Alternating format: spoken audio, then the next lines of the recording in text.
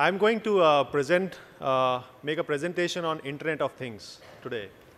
And uh, what opportunities would it bring for all of us? And what is that, uh, the various work which is happening in this fair? And before I proceed with my presentation, I would like to, I'm sure people here in this room would understand what is it, what is, what does internet means, right? I'm sure everybody knows. And I'm, I'm sure everybody understands what is the difference between an internet and World Wide Web. Though we use these words very interchangeably, we sometimes call internet World Wide Web and we sometimes call web, World Wide Web as internet. Just to clear that understanding, I would like to briefly explain, it's very important to understand this discussion before we proceed right? What is the difference between internet and web? So internet, as we understand, is a physical layer or a network, right? Which basically is, uh, connects various switches and routers. And, uh, and, and basically it transports information from one point to another point, right? And uh, uh basically it transports information much more securely, quickly, and reliably, right? And the web, and the World Wide Web is an, is an application which sits on the top of this internet, right? So that the application that operates on top of internet, its primary role is to basically uh, provide interface that makes this information flowing across internet usable so that we are able to view it properly, we are able to read it properly, and we use, able to make use of it. In this presentation, I would like to basically introduce what is this concept of Internet of Things, right? what is the state of art of Internet of Things, few applications which are in a POC stage, which is proof of concept stage, which various companies are working on, and few concepts which are already there and we are using in our day-to-day -day lives and are being used by various organizations. Challenges in this field and of course the future opportunities. As we understand what is internet, right? Internet for us means, right, anytime connection and anywhere connection. So which means, so uh, which means like when we are on the move, in the house, in the office, in the train, in the car, wherever we are, we are able to access information. There's a third dimension to this internet, which is basically anything connection. To any time connection and anywhere connection, there's a third dimension called anything connection. Now this anything connection is basically a human to human connection a machine-to-machine connection or a thing-to-thing or object-to-object. In Vodafone, we call it machine-to-machine connection, right? So what I basically mean by that, from any time, any place, connectivity for anyone, we will have connectivity for anything.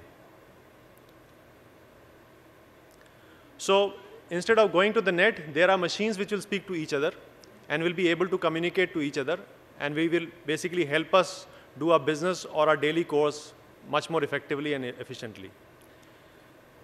So what does that mean? Basically, there's a very basic definition on Wikipedia.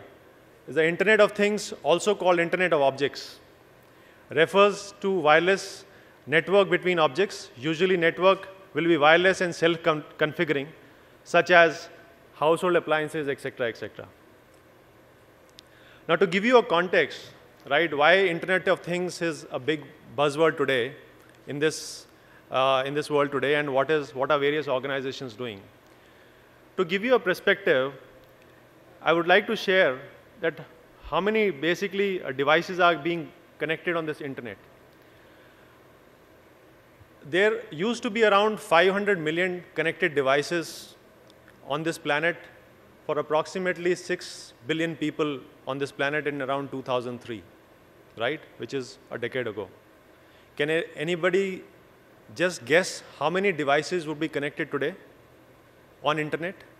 Any guess? Wild guess? Anybody?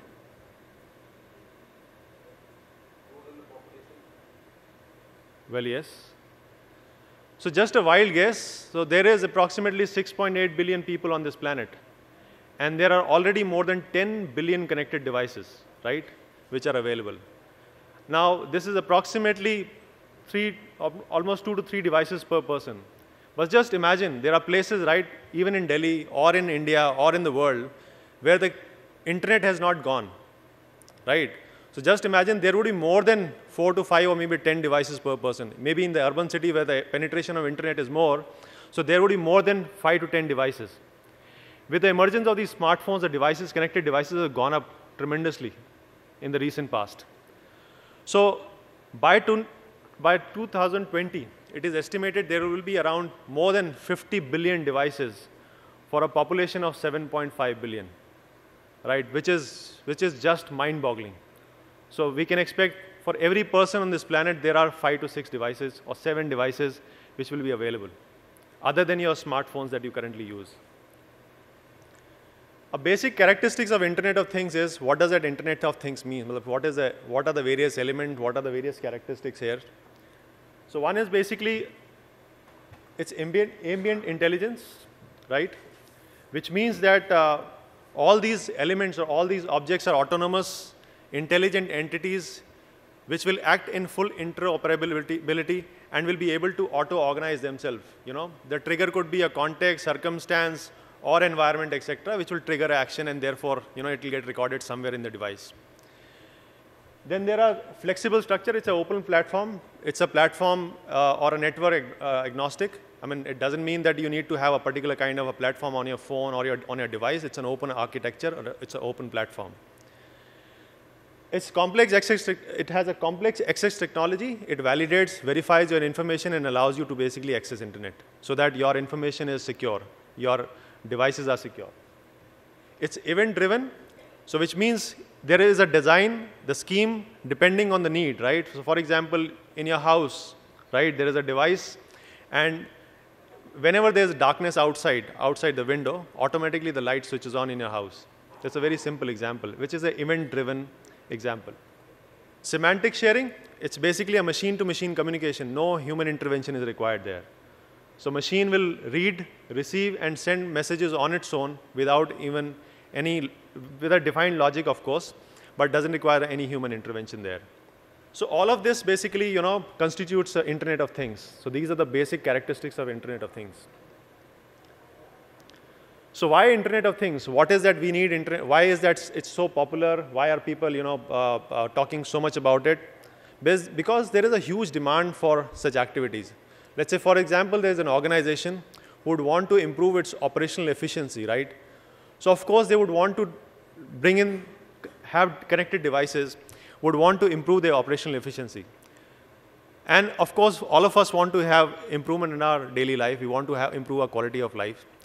From an organizational perspective, I would like to give you an example from a, uh, a distribution company, right? So in the distribution company, let's say it could be a pharmaceutical company, it could be a, a FMCG company like Hindustan Unilever.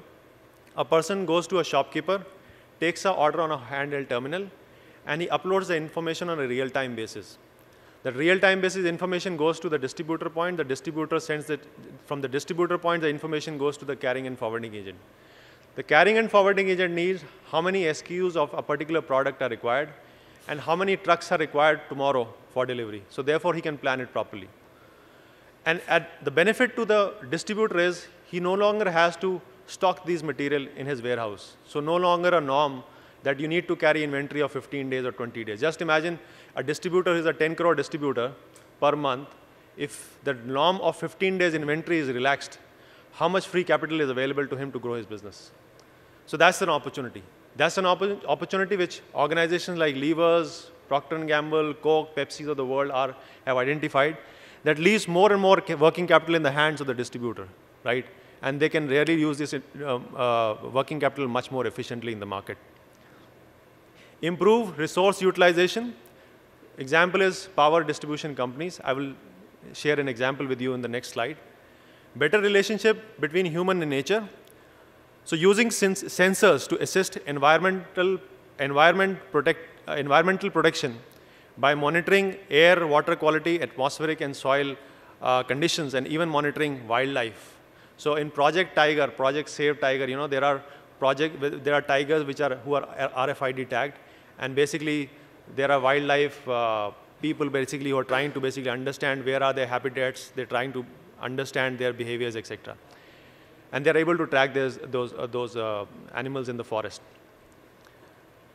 And of course, forming an intellectual entity by integrating human society and physical systems. So all of this, there's a huge, all of this creates a huge opportunity for Internet of Things in the market.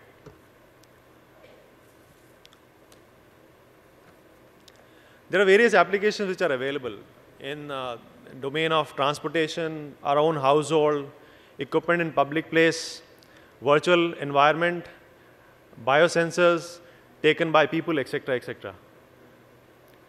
I would like to take you through a few scenarios here.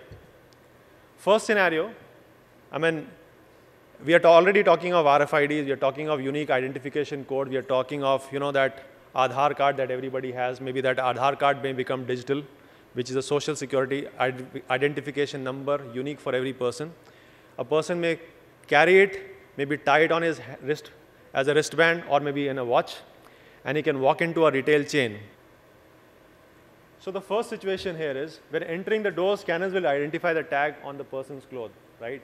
And that information is already stored because you go there every month to buy a, buy a grocery or stuff. And your choices, your preferences, etc., etc., are already available in the system. If there is a scheme, if you are going there to buy, let's say, a hair care product or a personal hygiene product, the schemes will automatically come to you on your phone. Maybe it will display it on the TV screens there. There's a scheme or there's an offer on a particular product, right?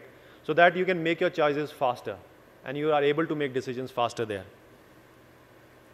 Second situation, when goods in the market, when shopping in the market, the goods will introduce themselves. If there's a new product, automatically the information will flow, or the person will go to that particular shelf to buy that product. Situation number three, when moving the goods, the reader will tell the staff to put more of that goods on the shop floor so that the people can come and buy. When paying for the goods, the microchip of the credit card communicate with the checkout reader. It automatically happens. There's no hu human intervention required. I'm, I'm sure a lot of people here would be amused, you know, this is very, very futuristic. And this is maybe 50, 100 years, or maybe you would see this in movies only. It is not possible in the real world. But I would share a real example in the next slide. And by the way, a lot of work is already happening in the previous slide, which I have shown. There's a large beverages company which sell soft drinks, right? And they place these refrigerators in various markets. And every refrigerator costs a lot of money, thousands of rupees for them. And if these refrigerators are not utilized properly in the market, what happens is the money goes waste, right? There's an unnecessary wastage in the system. Now, using Vodafone technology, what that organization has done, centrally at a place, the organization knows how many refrigerators are stock or placed in which market, how many refrigerators are switched on, what is how many times the door is getting open, somebody is opening the door or closing the door. So that kind of uh, that kind of technology is already available and it is already deployed. So it is, it's not a rocket science, it's basically a lot of work which is happening. And there's a lot of opportunity for all of us here. Maybe you can, you would want to, you know, uh, uh, want to track maybe your asset, your uh, resources in the market. And since it's an entrepreneurs forum, and you would not have the luxury of having an IT manager or maybe a certain, a very, very large team to do it for you. There are organizations who can help you out, help you in doing this and help you having a control on your business. Next scenario is utilities. I mean, there's a large uh, utilities companies in the, in the city called NDPL. I'm sure a lot of people know. They use around 45,000 to 50 SIMs from us. All these meters are digitized. Nobody goes to the market to take the meter reading there. And if somebody tries to tamper, there's a stamp, the information automatically flows to the control room that somebody has tampered with the meeting, reader, uh, meter reading. Second, if it is a high value customer, you can't afford to bill him after two months, right? If a large organization, factory, which runs a bill of crores of rupees, you can't extend him a credit of maybe two months. That billing happens on a 15 day cycle, on a fortnightly cycle. So it helps the power company, power distribution company to manage it working, manages it working capital well, reduces theft, helps him, them reduce pilferage and leakages in the system. Actually, it can track which locality, which household, etc., etc., where the leakage is. From point A, point B, point C, they can actually map 100 units were transmitted, and at the end of point E, only 95 units have gone. So where have the five units, where, are the, where is the loss of five units? They can actually track that. Scenario three is transportation. I'm sure a lot of you would have read this news and would have also seen this in the TV that Barack Obama, the US president, was test driving a vehicle or a car which has this intelligent system of basically communicating with the cars around him in that area. It's nothing else, basically internet on things. What is happening is a lot of automobile companies developing this, and this is in a POC stage, where every car, every device, or there will be a device in every car, and the cars would communicate to each other, right? What the car companies are trying to do is they're trying to help improve our driving experience. They want us to be safer, and they want to sell more. So just imagine this scenario. When there is a queue, the first car may tell the cars behind, is there if there's an accident or just too much traffic, and this will eventually make intelligent navigation system. Replan the route of cars programmed to go down already saturated roads, so you don't get stuck in traffic jams. Cars may help the driver to keep safe distance and may review, refuse dangerous act actions like you know, speeding if the weather conditions are not conducive.